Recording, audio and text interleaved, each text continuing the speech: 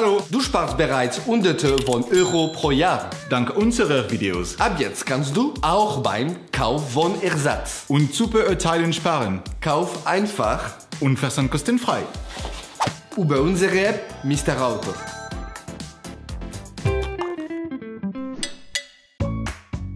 Um das Öl zu wechseln, musst du einen Ölfilter, einen Vorreiniger wird vor dem Ölwechsel eingesetzt und einen Ölkanister besorgen. Die empfohlenen Teile und Produkte findest du in der Videobeschreibung sowie unter dem Link, um Infos über die Ölsorte und die benötigte Menge zu erhalten. Schalte die Zündung deines Autos aus, ziehe die Handbremse an und öffne die Motorhaube, indem du am entsprechenden Hebel ziehst.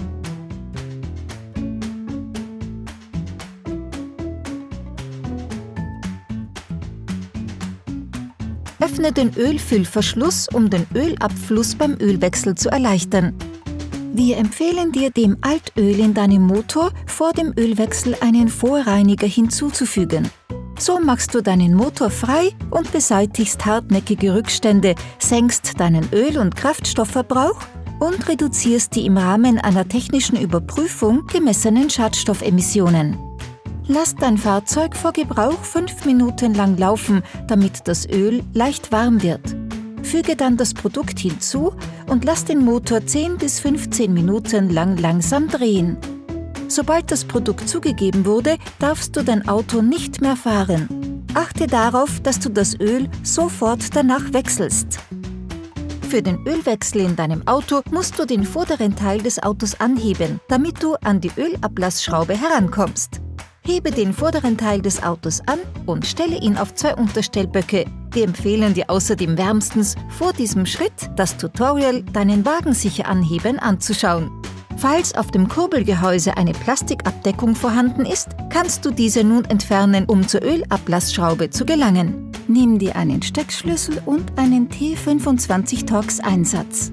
Vergiss nicht, einen Auffangbehälter für das Ablassöl aufzustellen. Du kannst den auch selbst herstellen. Schau dir dazu das Video Stell deinen Auffangbehälter selbst her an. Lockere die Ölablassschraube zuerst mit einem Steckschlüssel und einem 19 mm Steckschlüsseleinsatz und schraube sie dann von Hand ab. Vorsicht bei den letzten Drehungen der Schraube, das Öl kann plötzlich herausspritzen. Sei darauf vorbereitet und stelle einen Ölauffangbehälter darunter. Da das Öl etwas heiß ist, empfehlen wir dir Handschuhe zu tragen. Lass das Öl während ungefähr 10 Minuten herausfließen. Bei den Wagen der Volkswagen und Audi-Gruppe kann die Dichtung nicht von der Ölablassschraube gelöst werden. Wir empfehlen dir also, die Schraube bei jedem Ölwechsel durch eine neue zu ersetzen. Setz sie von Hand ein und schraube sie schließlich mit dem Steckschlüssel und dem 19 mm Steckschlüsseleinsatz fest. Beim Ölwechsel musst du auch den Ölfilter wechseln. Um zum Ölfilter zu gelangen, musst du die Motorabdeckung abnehmen. Nimm dir einen Steckschlüssel, eine lange Verlängerung und einen 32 mm Einsatz. Löse den Filter, indem du ihn im Gegenuhrzeigersinn drehst, bis dies leicht geht. Schraub ihn schließlich von Hand ab. Bereite einen Auffangbehälter vor und lass den Filter einige Sekunden lang austropfen. Leg ihn dann in den Behälter und nimm ihn so wieder heraus, dass du das Öl nicht verschüttest.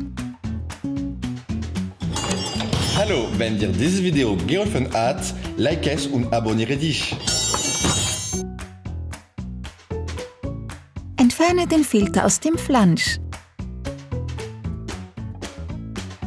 Reinige den Filterflansch mit einem Bremsenreiniger und einem Lappen.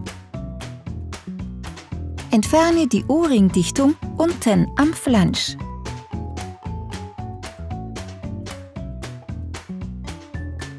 Vergleiche den neuen Filter mit dem alten, um sicherzustellen, dass sie identisch sind. Ersetze die Dichtung mit jener, die sich in der Verpackung des neuen Filters befindet und öle ihre Oberfläche gut ein.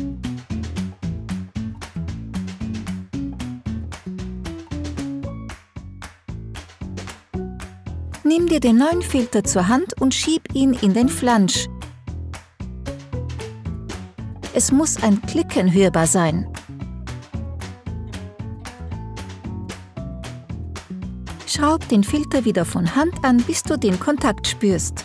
Nimm dir zum Anziehen deinen Steckschlüssel, die Verlängerung und den 32 mm Einsatz zur Hand und drehe um eine Vierteldrehung weiter. Achtung! Bei dieser Art von Ölfilter kann die neue Dichtung sehr dick sein, was das Anziehen komplizierter macht. Versichere dich darum, dass der Flansch auf der Metallhalterung des Motors liegt.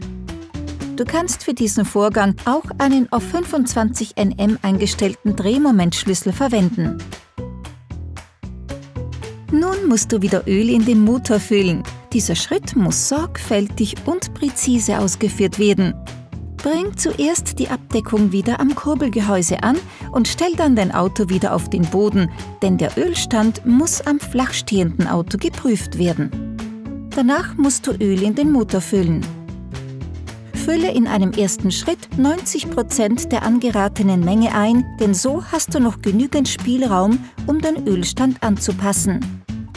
In der Videobeschreibung findest du genaue Angaben zu den Ölmengen, die du je nach Auto für den Motor benötigst. Schließ den Ölverschluss, starte den Motor und lass ihn 30 Sekunden lang laufen. So wird sich der Ölfilter füllen. Zieh den Ölmessstab heraus und wische ihn ab.